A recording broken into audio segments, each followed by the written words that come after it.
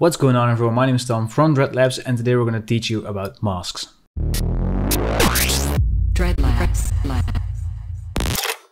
Alright guys, so this video I wanted to do for a while now because sometimes I do live streams where I do some quick stuff with masks and some people just immediately get confused quite a bit. And also when I teach classes in real life I notice that some people still uh, sometimes really have to wrap their head around how Photoshop masks really work. Uh, so that's why I wanted to give you this video, basically like an in-depth view of the possibilities of masks, how they actually work, and how you can manipulate them and adjust them to a lot of things you might not know that this uh, function is capable of in Photoshop really. Alright, let's start with the basics. Uh, in here I have in Photoshop a picture from Unsplash.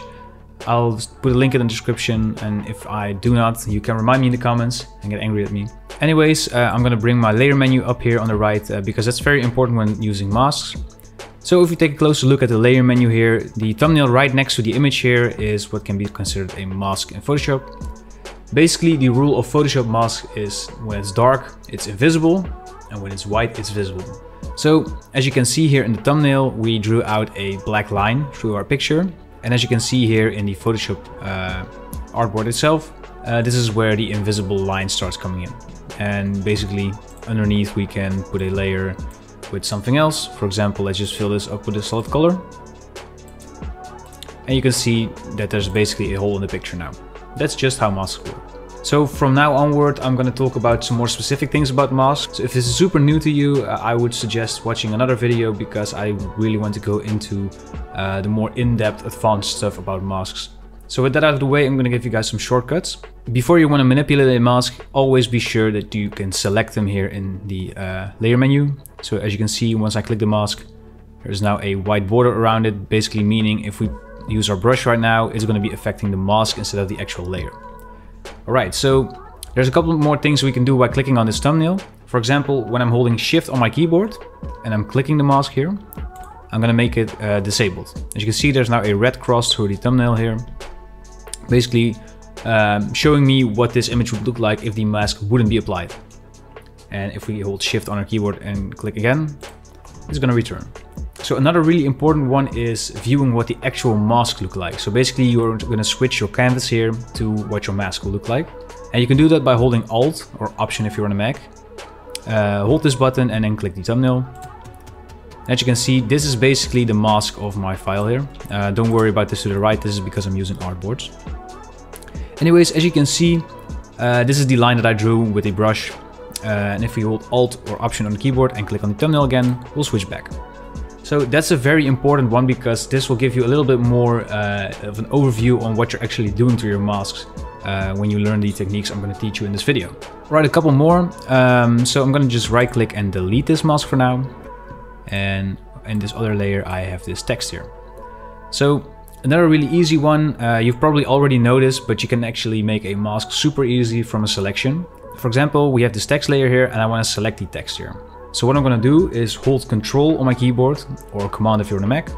And if you hover your mouse over the thumbnail on the right here, you can see that the mouse starts changing. So when we click this, we make an automated selection of uh, the texture. So now if we go to the mountains, and I'm just going to go drag my layer menu out here. Uh, so now with the selection, and I'm going to click on the mask button here, uh, you probably won't see anything yet, but that's because we have the hello layer still turned on, so I'm going to turn it off. Uh, so basically what you can see is that we done is we made a mask with our selection. And we can confirm that by holding Alt on our keyboard and going into the mask view. As you can see, this is a perfect selection of what the hello text was. Right, uh, let's just delete this because I'm going to show you one more trick. Uh, I'm going to make the same selection again. So I have the selection of my text here. So if you want to have the mask in one click, but you want to have it inverted, I'm going to hold Alt or Option on my keyboard and then click on the mask button. And then basically you punch out a hole of your selection. So again, if we go back into this mask view now, you can see that this is now black on white. Basically an inverted version of the mask that we had a little bit earlier in the video. All right. Uh, so yeah, one more thing. I'm to do one more selection here. I'm just to delete the text layer because we don't really need it anymore. Right, so one thing here uh, I want to quickly show you and that's how to invert masks. So if we press Command or Control I on your keyboard, you will invert the mask. As you can see in the thumbnail here, this will change from black on white to white on black. Fairly easy and quick way to manipulate your mask inverted. Uh, and again, I'm gonna go into mask view here. And this is basically what I'm doing here. Inverting all of the colors. And since the colors are black and white, it will just convert to their opposite. Alright, so now we're gonna dive into the functions that you might not know if you are fairly new to Photoshop. But yeah, I've seen a couple of advanced Photoshoppers having uh, trouble with this or not realizing that this is possible. Anyways, there's a lot of freedom in actually transforming and manipulating these masks, because they actually, eventually, when it boils down to it, uh, function as an actual Photoshop layer, just like a rasterized layer that you will use every day in Photoshop. If we take a closer look here at the right in the uh, layer menu, you can see this link button. You can actually click this, and if you click it, you can see that it's gone. Basically, this means that the mask and the photo will uh, transform separately now, because this is usually on, and if we want to transform this by pressing Command or Control T, if I make the picture bigger, the mask will scale with it, which is actually really convenient, but sometimes you just don't want that. So if we unlink this, and I'm going to select the mask here in the layer menu. So if I press Command T, you can actually see that I can now manipulate the mask without affecting the background picture. So I can stretch out this type, for example. And yeah, the mountain will still be fine. And again, if we go into the mask view by holding Alt or Option and clicking on the mask thumbnail, you can actually see that we are just manipulating this layer. Alright, another really convenient function that took me a little bit to uh, actually learn of is that you can copy and drag masks really easily. Um, so the way you can do that is by holding Alt or Option on your keyboard. In the layer menu, just drag it over to the layer that you want to mask out again, like this. And now you just have a duplicate of this mask on another layer. So that's also really convenient, especially when you're working with a lot of layers where it have to be masked uh, in the same way. And a cool thing, for example, is that you can also uh, invert this now. So if we press Command I, the uh, text will only be visible in the uh, opposite parts of the other mask. So yeah, I'm gonna also do a quick breakdown of how I made this mask here. So I'm just gonna delete it. And on this mountain range, I'm just gonna make a new mask. It's white. So a nice thing is that you can also uh, use the clouds filter in a mask. Uh, so we're gonna go to filter, render clouds. And as you can see, if we go to the mask view here, we now render these clouds filters um, as a part of the layer mask of the mountains. Uh, something that's really cool is that you can actually also transform these clouds. Again, if we unlink these and press Command T on our keyboard, we can stretch this out in the vertical axis. And as you can see, we now have this like super vague, uh, noisy texture over our uh, picture as a mask. Because if we go back into the mask view, this is what we have. Uh, you can do the same with paths, filling it in uh, and yeah, customizing it. But the coolest part is that you can also use other filters in uh, the mask layer here. For example, if we go to filter, blur, Gaussian blur, it's also possible to blur these out and soften up the edges. Another possibility is using adjustment layers. So for example, again, we do all this with uh, the mask selected here. I'm gonna go to image, adjustments, levels. And now we can up the contrast of the mask here. So if we drag these in, actually upping the contrast here. So I'm gonna do this again, but then into the mask view. So this is what we have. Again, we're gonna go to image, adjustments, levels. And basically we're gonna make the darker parts darker and the lighter parts lighter. Uh, so what you might have seen now is that the mask doesn't necessarily have to consist of uh, either black and white colors. It can also contain gray values. And basically what these gray values do, for example, these here, uh, well basically if it's 50% gray, it's gonna be 50% uh, opacity. And if it's 100% uh, gray, basically meaning black, uh, it's going to be invisible.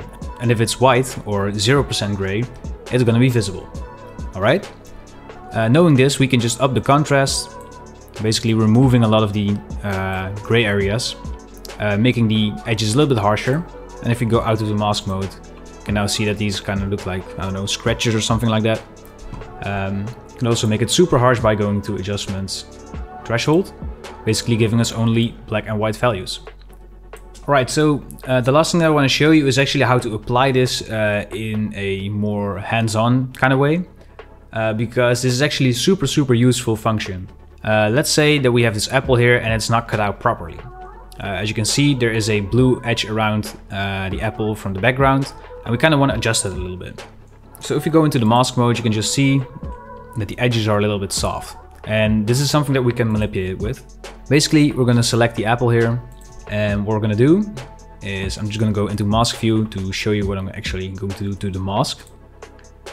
I'll go filter, blur, Gaussian blur. And the more I blur this, as you can see, the softer the edge will be, but also the more gray values will be in between the black and the white. As you can see, the bigger this will become, the more gray colors uh, will be fading in between black and the white color. I don't need this much, but yeah, I'm just gonna go with, I don't know, maybe like 10 pixels. Alright, so going back into the normal view, you can actually see that the edge has been softened up. But as we showed you in the other example, we can basically make the gray values either lighter or darker by using a levels adjustment. So going back into the mask again, go to image, adjustments, levels. And what we basically can do is if we drag in this left slider, we're gonna make this image darker.